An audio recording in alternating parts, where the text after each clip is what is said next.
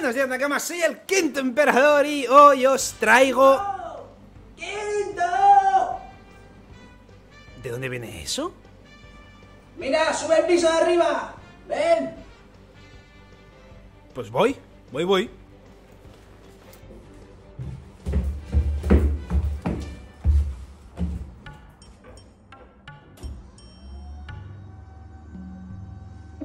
Mira esto, quinto. Eh, perdona, décimo, pero ese escritorio tan guapo.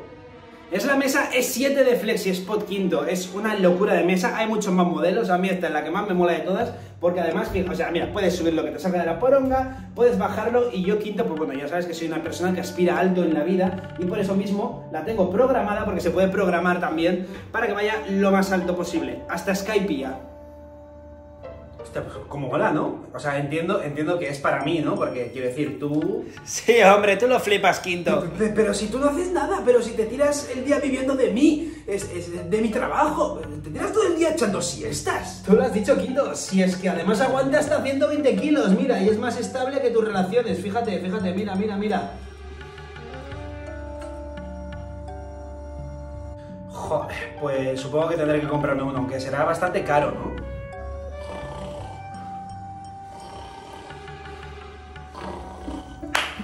Décimo. Ah, pe- perdón, perdón. eh, ¿no, ¿Cara? No, que va, que va. Sí, además ahora están en el 28 aniversario de FlexiSpot y por eso mismo han puesto descuentazos de hasta 250 euros, quinto. O sea, si es que esta joyita te sale tirada ahora mismo. Pues, pues ya está, pues, pues dime dónde pillarlo porque voy a jubilar mi escritorio ahora mismo. Ay, quinto, quinto, que este es tu vídeo. Deberías de saber que en la descripción tendrás el enlace hacia la página web. A mí déjame que voy a trabajar. Cierto, toda la razón. Pues nada, pues Nakamas, ya sabéis, a partir de ahora a disfrutar del descuentazo de FlexiSpot que vaya ofertaza han sacado por su 28 aniversario. Todo el mundo a la descripción, entrar a la web y a disfrutar de un escritorio como Dios manda. Y bien, Nakamas, no vamos a enrollarnos más. Hoy os traigo una lecciones de Nakamas, esa sección de mi canal en la cual se hace mediante Instagram. Vosotros vais a mi Instagram, quinto barra baja emperador, me seguís ya de paso y cuando suba una historia preguntando sobre que me deis a elegir entre dos cosas de One Piece o de lo que sea, ustedes, mis queridos Nakamas, hacen eso, yo selecciono algunas de ellas y sale este videito de aquí. Y bien, vamos a darle ya caña, que llevamos un poquito tarde, con lo que estrena esta sección Samuel con su siguiente elección. Vamos a ello, Imu, hombre o mujer.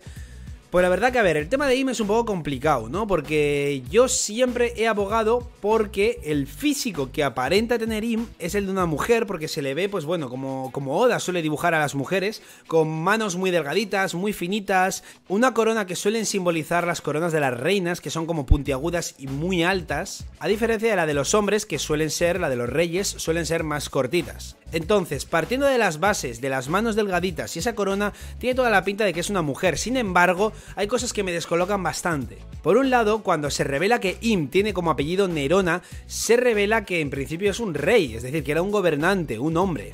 Por otro lado, conociendo a Oda que no suele dar especialmente importancia a las mujeres y que no suele hacerlas especialmente poderosas más allá, con excepciones como Big Mom, la Yonko que de hecho más ridiculiza de todos, y por otro lado, pues la emperatriz pirata Boa Hancock, la cual sí que es una, mujer muy poderosa, por norma general tiende a dibujar a hombres viejos poderosos, entonces sería bastante descolocante, por lo menos siguiendo la línea de Oda, que fuera una mujer. Además, si finalmente se da un duelo entre Luffy e Im, sería también un poco descolocante, ya que Luffy normalmente no ha peleado contra mujeres con excepciones muy puntuales, como por ejemplo Monet, con la cual realmente yo creo que ni llegó a pelear. Entonces, yo pienso que Im es un hombre, sin embargo, habría que ver cómo desarrolla todo Oda y cómo lo va explicando, porque hay pistas e indicios tanto de que es mujer como de que es hombre. Tiago Suavim, me cago en tu.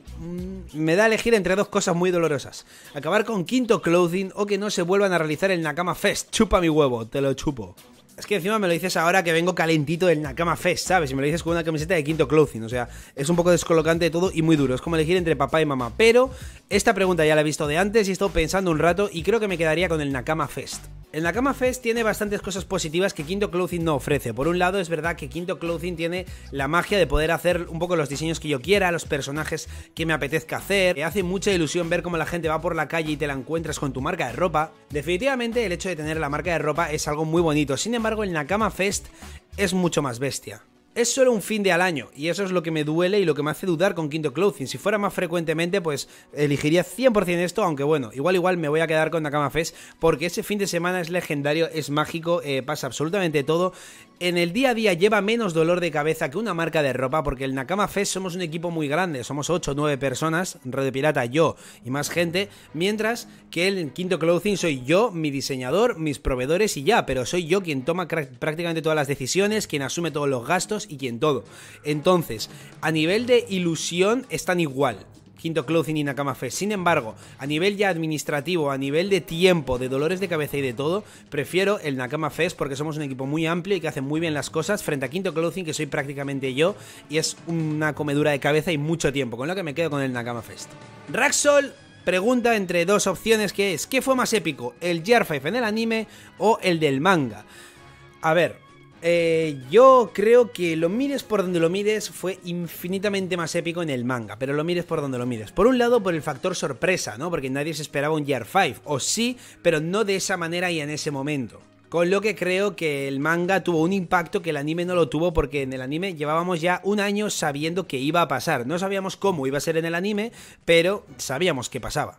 Y donde verdaderamente rompió internet y donde fue toda una puta bomba para mí, sinceramente, fue en el manga, con lo que no hay discusión. J. Bless hace la siguiente pregunta: ¿Saber qué es el One Piece o el sueño de Luffy? El no elegido se quedaría en la incógnita siempre. Vale, o sea que si elijo saber qué es el One Piece, no sabremos el sueño de Luffy y viceversa. Pues en este caso, fíjate que me quedaría con saber qué es el sueño de Luffy. Realmente me gustaría saber, obviamente, lo que es el One Piece, pero hay una pequeña parte de mí que aboga por que no se sepa nunca. Es decir, que de una manera u otra Oda, como hizo con Roger cuando vio el One Piece, que es como que nos lo tenía delante pero no nos lo enseñaba, pues que con Luffy haga lo mismo. Insisto, es una pequeña parte de mí, a mí me encantaría y de hecho casi necesito saber qué es, pero si Oda decide no enseñárnoslo, sino rodearlo por decirlo de alguna forma, y que no se llegue a ver, pero que vemos que los Mugiwaras sí que lo están viendo y se están riendo, para mí eso tendría una parte de magia muy especial porque dejaría un poco pie a la imaginación, ¿no? O sea, Oda claramente tendría eh, lo que es el One Piece y sabría lo que es el One Piece, pero no lo revelaría tan fácilmente, sino que nosotros tendríamos que deducirlo como llevamos haciéndolo toda la serie. Algo así un poco como esa muerte de L dentro de Death Note, de que si está muerto o no está muerto y que está un poco como abierto todo, pues un poco lo mismo pero con el One Piece. Hay una parte de mí que se quedaría con eso, con lo que decidiría quedarme, respondiendo a tu pregunta, con saber cuál es el sueño de Luffy y que no se sepa el One Piece. Andrade hace la siguiente elección, dura esta, la muerte de un Mugiwara o la traición de un Mugiwara. Pues yo creo que algo imperdonable en la tripulación de One Piece eh, de los Mugiwaras sería una traición. Creo que ahora mismo ningún Mugiwara encaja como un traidor.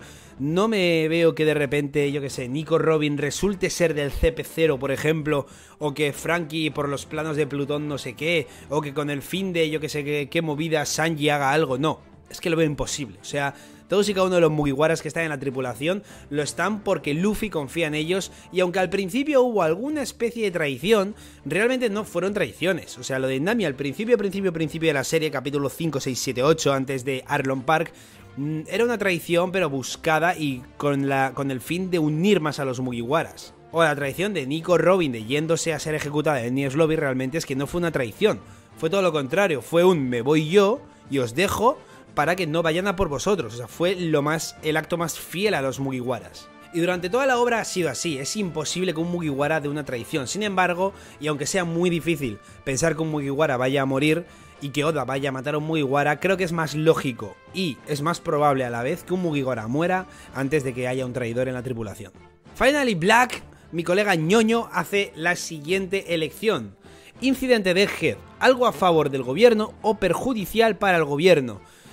Esto es que claro, esta elección determina el futuro de la serie, porque si elegimos que sea algo beneficioso para el gobierno, implica que es malo para los Mugiwaras, Vegapunk y demás. Y eso traería consigo unos siguientes arcos, un poco pues como para arreglar ese desastre que, han, que ha generado el gobierno mundial a los Mugis. Mientras que si es del revés, y es algo a favor de los Mugis, y es en contra del gobierno mundial, todo ya encararía mucho más como hacia, hacia esa guerra final probablemente. Yo no sabría del todo elegir, estoy un poco 50-50. Sin embargo, tiro un poco más, sí, tiro un poco más hacia el lado de que sea algo a favor del gobierno mundial, porque esto implicaría que los Mugiwaras no son Dios todavía, que los Mugiwaras todavía tienen un rival, que con Kaido no se ha acabado todo, sino que todavía Luffy tiene enemigos a los que no puede vencer o a los que les va a costar mucho vencer, que ya no es como, oh, la tripulación de los Mugiwaras, y ya está, y todos felices y a chuparla y todos se acojonan, sino que el gobierno, eh, Kizaru o quien sea, no se eche para atrás y dé problemas de verdad a los Mugiwaras como los que tuvieron en Shabaudi, y ese tipo de cosas que sean caóticas para los Mugiwaras y a favor del gobierno mundial. Respondiendo ya de manera definitiva me quedo con eso. Es a favor del gobierno mundial, creo que haría mucho mejor a la serie porque le, añadiría mucho más drama y mucho más interés a todo. ¿Qué prefieres, elecciones de Nakama o el PIR? Es que Nakama, es que el PIR es que no, tiene rival. O sea, yo lo siento, me gusta mucho las elecciones de Nakamas, me gusta mucho, pero es que el PIR es como, como dar a elegir, yo que sé, a tu decimoséptimo mejor amigo o a tu padre. Pues me quedo con mi padre. Y para terminar esta elecciones de Nakamas, Iván hace la siguiente preguntita. ¿El buff ahora o el buff al final de la serie? Un saludo, Tito Quinto. Un saludito para usted, Iván, caballero. Guapo, que estás guapo.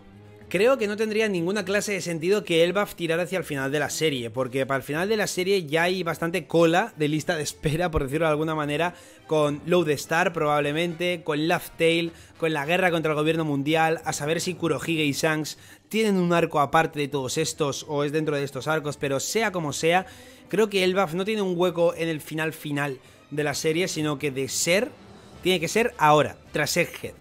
Y de hecho todo apunta a que efectivamente va a ser después de este arco de Head, porque ya han hablado de Elbaf, ya parece que Luffy y Usopp no se les va a quitar de la cabeza de que van a ir a Elbaf a conocer a los gigantes. Es un buen momento para encontrarnos otra vez con Dory y Brogy, y eso puede ser legendario, porque eso es un poco ya como anclar el final y enlazarlo a las cositas que se vieron al principio, con un anclaje definitivo de un Brook encontrando a la Boom, pero antes de todo eso va a, haber un camino bonito, como por ejemplo este, que Luffy y Usopp se reencuentren con Dory y Brogy en Elbaf. Y de hecho Elbaf, que es la nación más poderosa del mundo, como bien se ha explicado, creo que sería perfecto que ahora fuera este siguiente arco para que se genere una alianza entre los Mugiwaras y Elbaf para derrotar ya al gobierno y para apuntar hacia la parte final de verdad. Si Elbaf estuviera al final no tendría tanto sentido que se hicieran naciones aliadas. Sin embargo, si es ahora, al principio, al principio, o sea, después de Head, la cosa cambiaría porque estaríamos por un lado con todos los gigantes a nuestro favor. Tal vez Shanks estaría de por medio y habría alguna conversación o algo interesante con Luffy.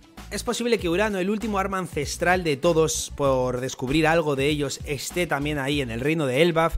Tal vez Jaguar y Saul, muchas cosas que no se pueden dejar tan para el final, sino que tienen que ser prácticamente ya, porque como se diría, es ahora o nunca con lo que abogo totalmente y voto por la posibilidad de que el siguiente arco sea Elba. Y nada más, mis queridísimos Nakamasuelis, espero que hayáis disfrutado de este Electores de Nakamas, el cual me da que se ha quedado un poco cortito. Y os pido disculpas, lo que pasa es que ando muy mal de tiempo porque el 1 de septiembre me voy a Japón. Y todavía queda una semana, pero en esta semana estoy grabando vídeos como un cabrón, tengo que hacer directos, tengo que hacer shorts, eh, post de la pestaña de comunidad, tengo que hacer muchísimas cosas, ando bastante apurado, bastante que estoy consiguiendo sacar tiempo para grabar tanto vídeo y la verdad que bueno, os pido, os pido disculpas y a la vez un poco de comprensión por este tema de hacer este vídeo más cortito. Intentaré que no sean tan cortos, pero bueno, es lo que hay. Muchas gracias por haber estado aquí en este videito Nakamasuelis, espero que lo hayáis disfrutado a pesar de su brevedad, si es así me encantaría por favor como siempre que me regaléis un likecito, pero sobre todísimo ya sabéis Nakamas lo que hay, suscribiros si todavía no lo estáis para ayudarme a seguir creciendo y que esto siga a más, a más y a más. Muchísimas gracias Nakamas por haber estado aquí una vez más, os quiero mucho, viva One Piece, nos vemos dentro de poquito y nada, un saludo y hasta mi próximo vídeo.